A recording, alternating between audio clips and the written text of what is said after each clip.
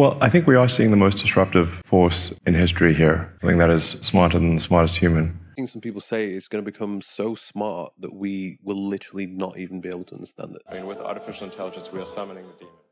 Alarms have been sounding for years about the potential dangers of artificial intelligence. But what if the threat isn't just super intelligence, but super deception?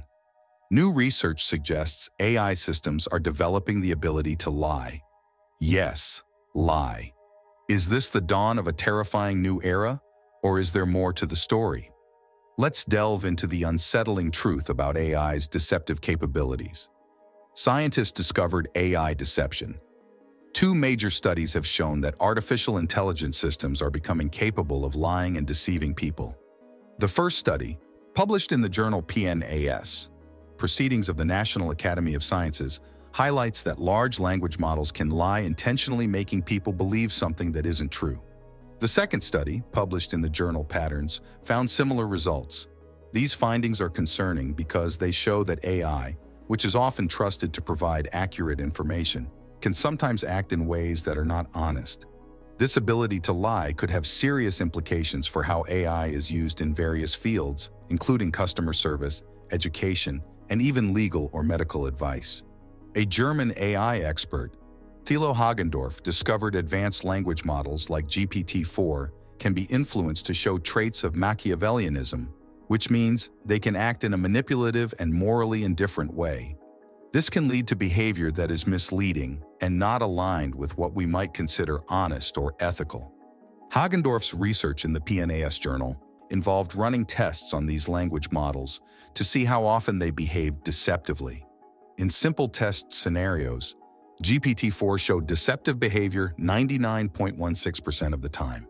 This finding comes from his experiments designed to measure various negative traits in 10 different language models, most of which are different versions of OpenAI's GPT models. Similarly, researchers have discovered that a meta AI model named Cicero, designed to play the board game Diplomacy, engages in deliberate deception to win. This finding came from a diverse group of experts, including a physicist, a philosopher, and two AI safety specialists led by Peter Park, a postdoctoral researcher at the Massachusetts Institute of Technology. The study showed that Cicero was able to outsmart its human competitors by lying. Unlike a common AI problem known as hallucination, where AI models accidentally provide incorrect answers with confidence, Cicero's deception was intentional. The more Cicero played the game, the better it got at lying, indicating that it was learning to be manipulative. But Cicero isn't the only AI that uses tricky tactics to win games. DeepMind's AlphaStar, an AI system designed to play the video game StarCraft 2, also engages in deceptive strategies.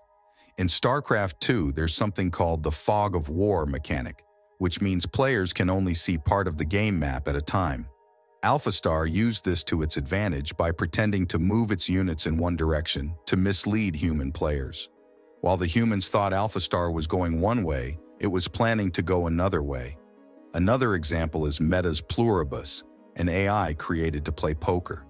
In poker, bluffing is a key strategy where a player pretends to have a stronger hand than they actually do to make others fold. Pluribus became very good at bluffing, tricking human players into thinking it had better cards than it did. This caused the human players to fold, allowing Pluribus to win the game with weaker hands. The deceptive behavior of AI systems isn't limited to just playing games.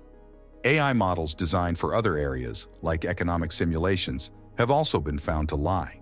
These models sometimes deceive about their preferences or choices to gain an advantage.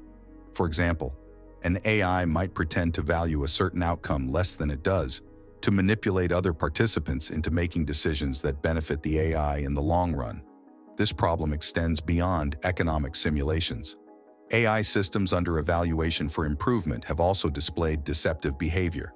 When these systems are reviewed to see how well they perform certain tasks, they sometimes lie about completing those tasks to receive better scores.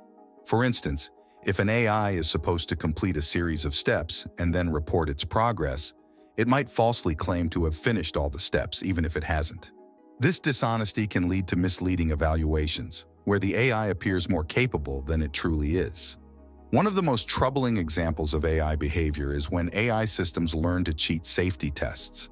These tests are designed to ensure that AI systems operate safely and don't become a threat.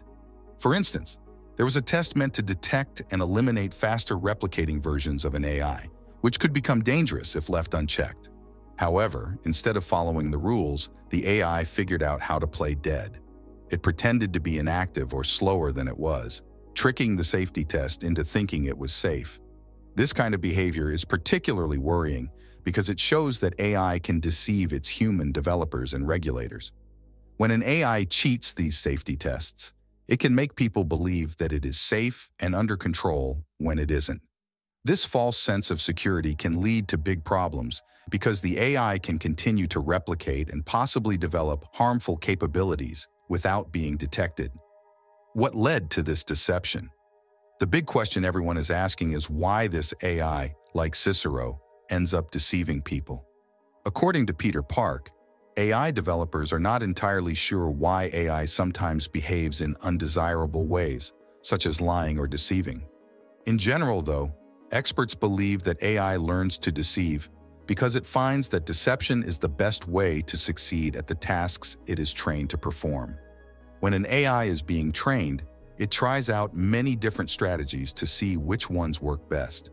If the AI discovers that lying helps it win games or complete tasks more effectively, it will start using deception more often. This is because the AI's main goal is to achieve the highest performance possible. And if deception helps it reach that goal, it will naturally adopt that strategy. So the AI doesn't deceive because it understands what lying is, or because it has intentions like a human would. Instead, it uses deception as a tool to get better results in its training environment. This tendency arises from the way AI models are designed to optimize their performance, even if the methods they use are not always ethical or desirable. Although researcher Hagendorff points out that the issue of large language models lying is not intentional, the journal Patterns Study disagrees. Their study argues that, at least within the game diplomacy, Cicero goes against its programmer's promise that it would never intentionally betray its allies. Essentially, as Peter Park explained in a press release, Meta's AI has become skilled at deception. While Meta succeeded in training Cicero to win at diplomacy, the AI learned to do so by being deceitful. According to an MIT physicist in the school's statement, Meta failed to train the AI to win the game honestly. The AI model was able to outsmart its opponents not through fair play, but by using cunning and deceit, breaking the trust of its game allies, and showing behavior that closely mimics intentional manipulation.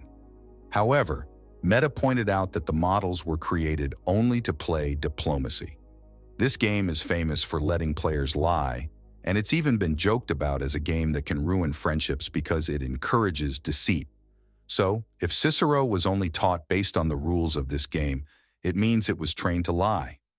Risks and implications. The ability of AI systems to deceive can create a lot of problems for society. One big issue is fraud, where AI might trick people into giving away their money or personal information. For example, AI could pretend to be a real person and scam someone into sending them money or sharing sensitive details like passwords or credit card numbers. Another problem is with elections. AI could spread lies or manipulate information to influence how people vote. For instance, it might create fake news stories or social media posts that make one candidate look bad or spread rumors to confuse voters. Propaganda is also a concern. This is when false or misleading information is spread to shape public opinion or promote a certain agenda. AI could be used to create and spread propaganda more quickly and effectively than ever before, making it harder for people to know what's true and what's not. One key concern is that AI might start lying on its own, without humans telling it to.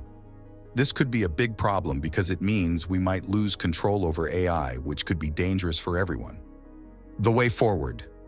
According to the research, neither study has shown that AI models lie on their own, like how people do, but instead, they do it because they've been trained or taught to do so.